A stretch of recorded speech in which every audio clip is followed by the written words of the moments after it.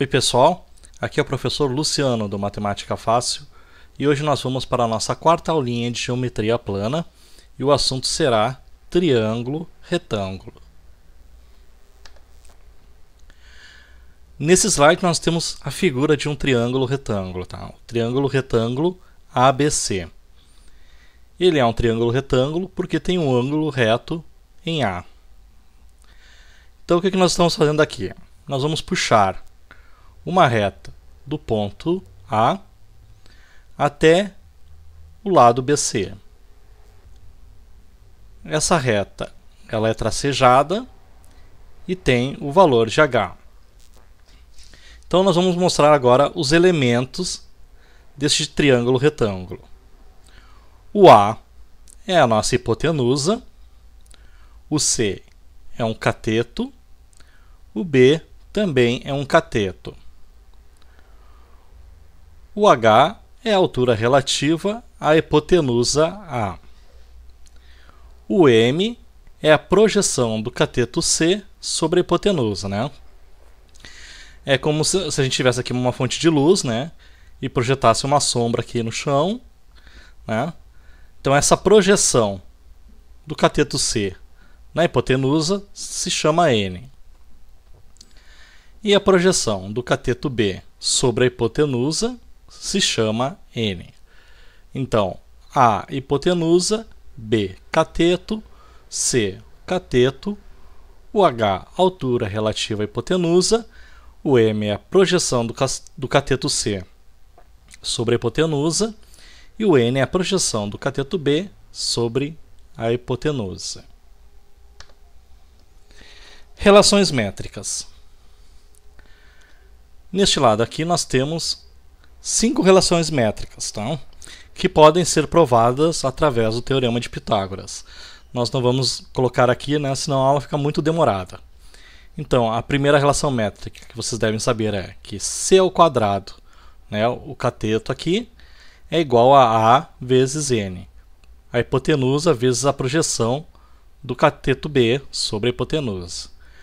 B ao quadrado é igual a A vezes M b vezes c é igual a a vezes h, h ao quadrado é igual a m vezes n, e aqui nós temos o famoso teorema de Pitágoras. Né? a ao quadrado é igual a b ao quadrado mais c ao quadrado.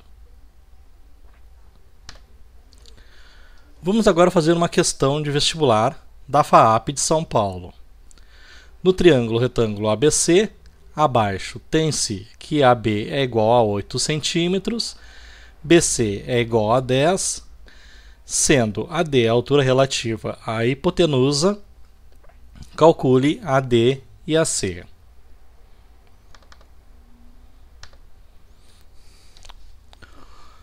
Dados. Os dados fornecidos pela questão. O AB é igual a 8, que é igual a um cateto, tá? Ó, AB igual a 8, que é igual a um cateto, né? O, o cateto B.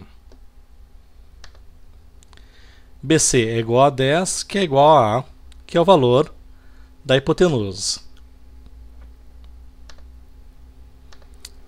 BC, ó, toda, né, toda essa reta aqui BC é igual a 10, que é o valor correspondente à hipotenusa A.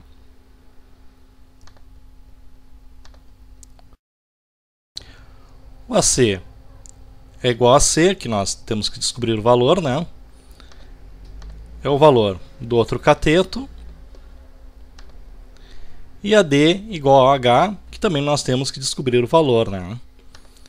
AD é, corresponde ao H, que é a altura relativa à hipotenusa.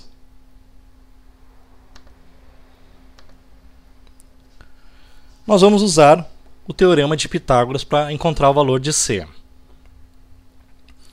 A ao quadrado é igual a B ao quadrado mais C ao quadrado.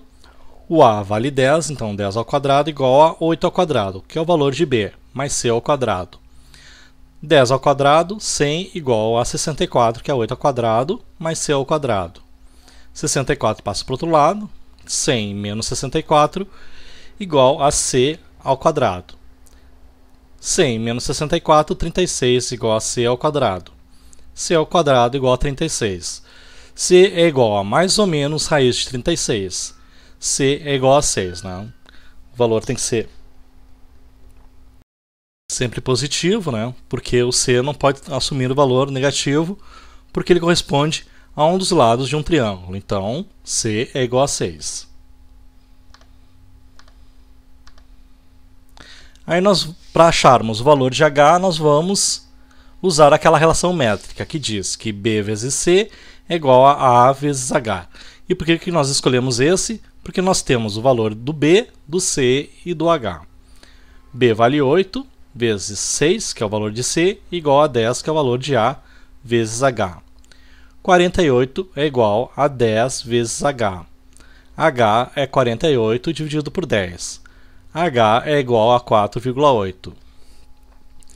Portanto, AD, que corresponde à altura relativa à hipotenusa, né, vale 4,8, o valor de h. E AC, que vale o valor de C, né, de um dos catetos, vale 6. Tá ok? Até a próxima aula.